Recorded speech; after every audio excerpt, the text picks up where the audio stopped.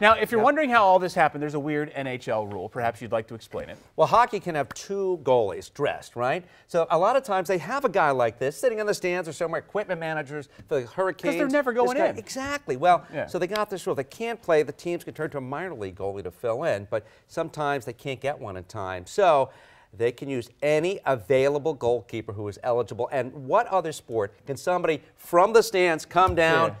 And step up. That's And- incredible. and he stopped seven shots and uh, was the star of the game. They were chanting his name, Wow. but he still had to go back to work this morning Yeah. to his accounting So job. what'd you do last night, huh? Not, not anything Exactly. that good. I, I hope he got paid though. I know that the emergency goalies they don't pay them. They sign like a one-game contract or something.